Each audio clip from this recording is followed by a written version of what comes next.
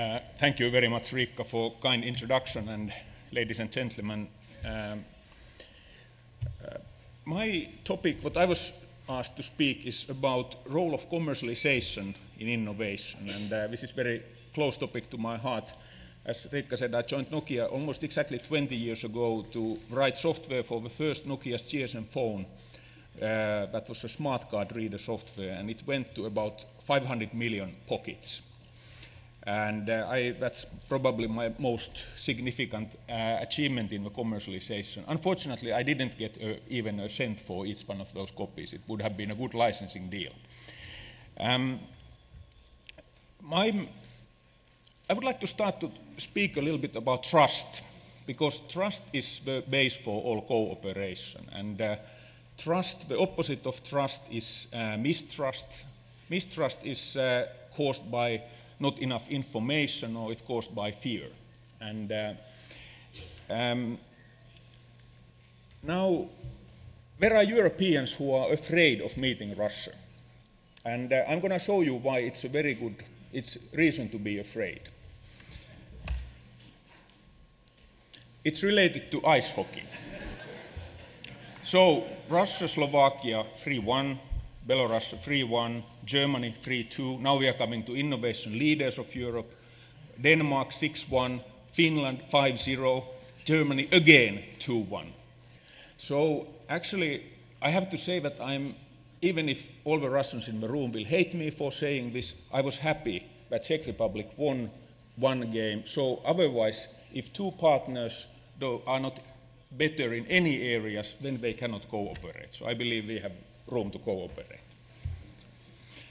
Um, in Spinverse, we have uh, three service areas, consulting, where we focus on commercialization uh, consulting, which I explain a little bit later. Program coordination, we are coordinators for several national programs for Tekes. Tekes is our biggest client. And uh, then we work in the EU projects. We organize, in our contacts area, we organize large conferences like the largest nanotechnology conference in Europe, and uh, we do partner search. Ah, sorry, my slides are behind. right here.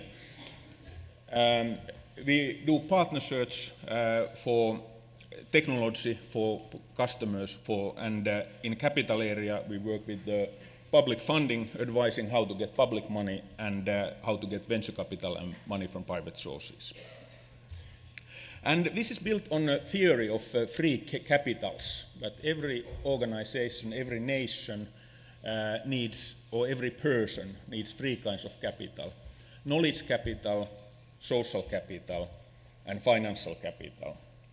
And not to make it too theoretical, I'm going to uh, have a very practical examples what, what this means. But so I want to quickly go through three topics. First of uh, definition of innovation and role of commercialization in it, then why is it difficult?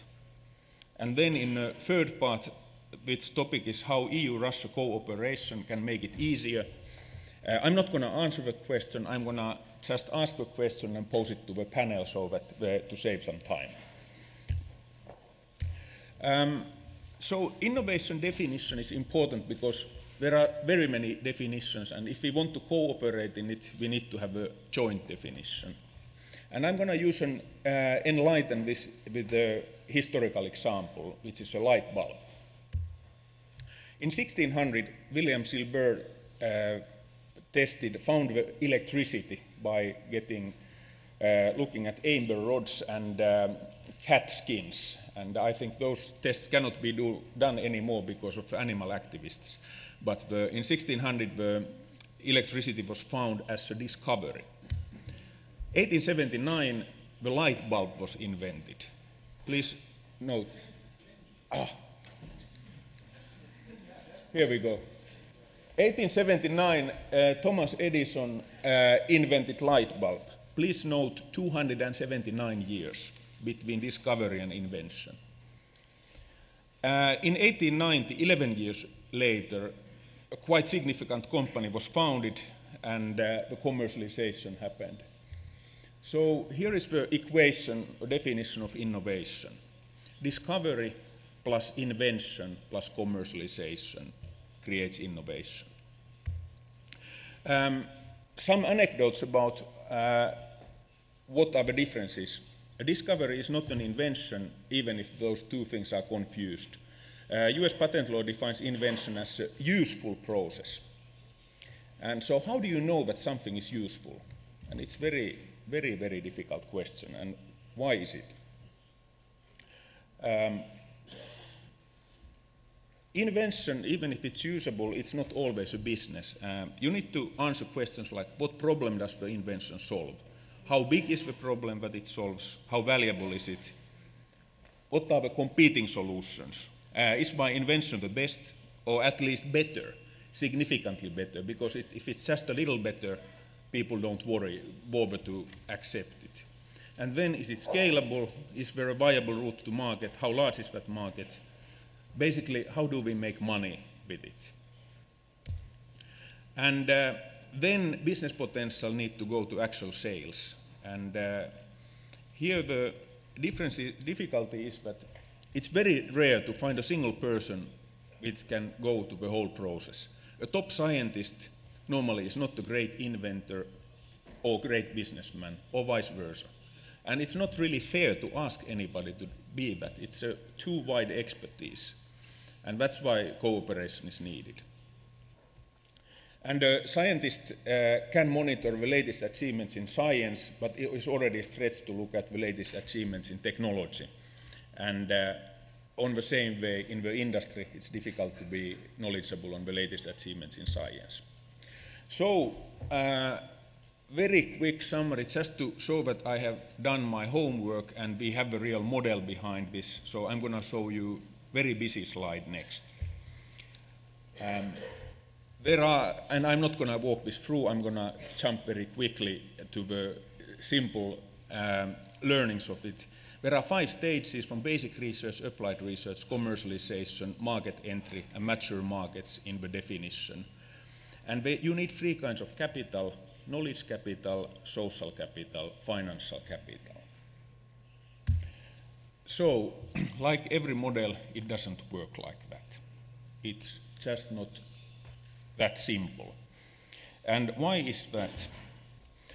Commercialization is a huge jump. It's often compared with the uh, leap from the cliff to another. And there is a deep hole in the middle. And if you drop there, you can never get out. Okay, in some entrepreneurs, they can come out and try it again, but it's a big loss if, if you fail. And uh, now let's look at first the knowledge capital of people. On the left side, you have scientists, technical, technical people, engineering people. On the right side, you have people with strategy, marketing, sales, production, and finance. And these two are different. They, again, they don't normally, uh, even in some early cases, they don't even know each other. They don't trust each other. And this is the first leap that you need to do. Second leap is in the partnerships or social capital. Uh, in research, you need research, technology, partnership, subcontractors.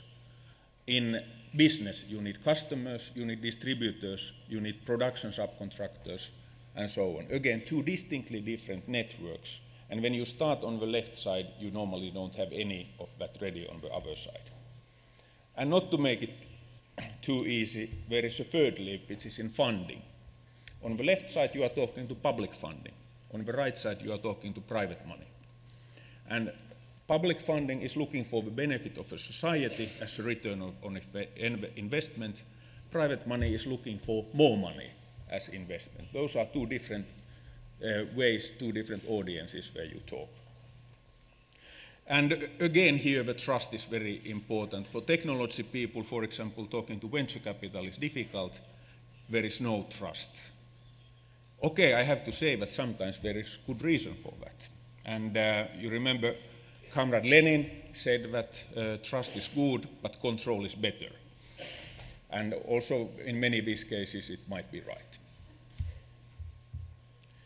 Um, so finally, make sure when you make the leap, uh, don't do it without support. And uh, as said, uh, I'm not going to answer this question, but we are, I'm going to uh, give these next questions to the panel, which is um, um, how do we solve these challenges together? In knowledge capital, how can EU and Russia complement each other on knowledge, people, and competencies? How can, uh, in social capital, how we can create complementary networks, uh, partnerships, and markets? And in financial capital, how we can complement each other on funding. Thank you.